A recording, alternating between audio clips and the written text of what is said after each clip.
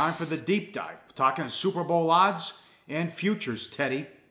You don't like these odds to win the Super Bowl, and you have the good reasons why, especially when you look at the odds. But uh, if you you've been saying on this the show for the last couple weeks, you got to shop around no matter what you're betting. Yeah, I mean this is just such a great chart. Uh, the guys at Sports Insights put this together. I wanted to put it up, and I know it's a long chart. There's a million numbers on here, but this is just a handful of books in Vegas and one offshore book. Okay, it's MGM, Westgate, Wynn, Golden Nugget, and Bet Online.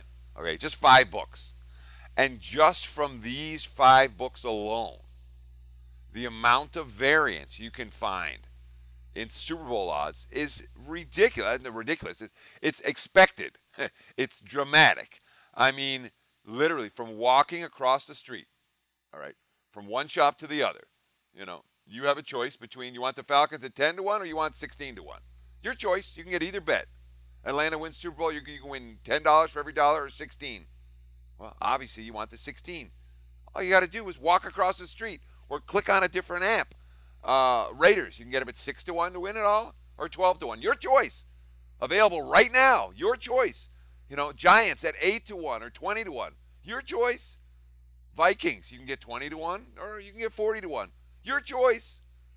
you know, if you want to bet on the Jets, and I don't know why you want to bet on the Jets to win the Super Bowl, but if you do, you can get them at 125 to 1, make a nice little score that just win the Super Bowl. Yeah, 125 to 1. Or you can walk across the street and get them at 500 to 1. Four times the odds at one shop versus the other.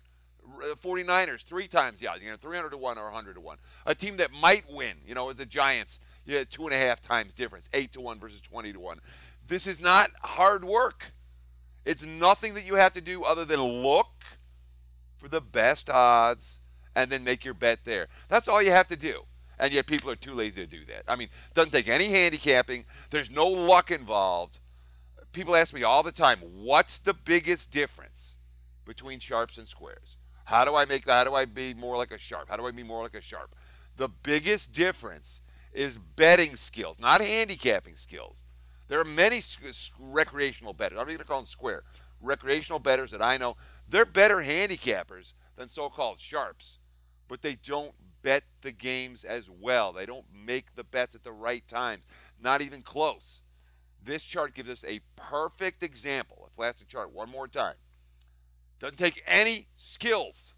All it takes is paying attention, opening up accounts We need to open up accounts, and you get a dramatically different return on investment. ROI is what we're all looking for. I don't know how. I mean, that's a rant. I mean, there's a lot more to talk about on this subject, but that's my rant, Pauly. It it's really is one of the situations where you want to be better at betting.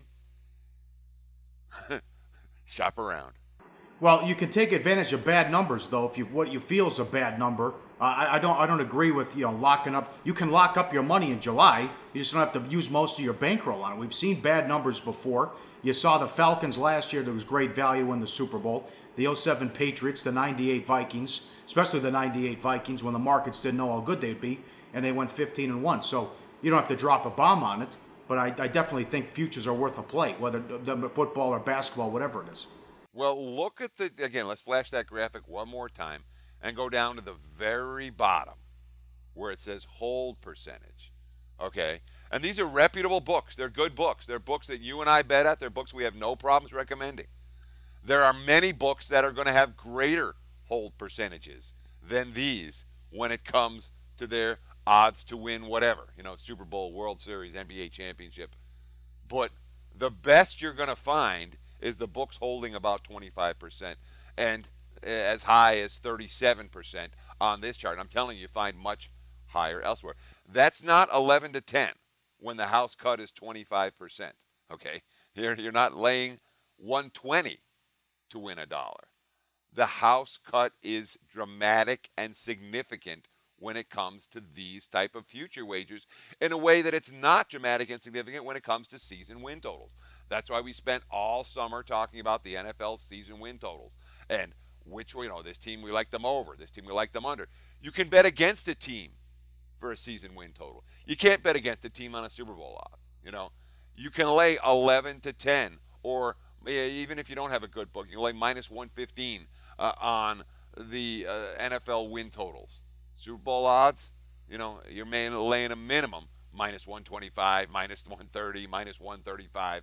The house takeout significant on just about all of these. All right, tomorrow we finish out the AFs. Good job, Teddy. Great job with that chart as well. Yeah, one last thing uh, that I do want to talk about is opportunity cost.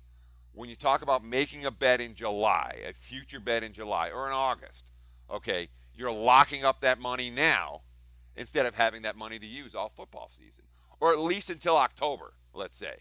A wager here could cost you, if you don't have a deep enough bankroll, could cost you the chance to make a better wager somewhere else. So, whenever I'm looking to do something with the future books, okay, I always want to make sure A, that I'm adequately bankrolled, and B, that it's not going to cost me something where I'm not going to be able to get down on a better wager than I could. But I mean, shop around. I've been talking and harping all summer. At least three books. Be in at least three books.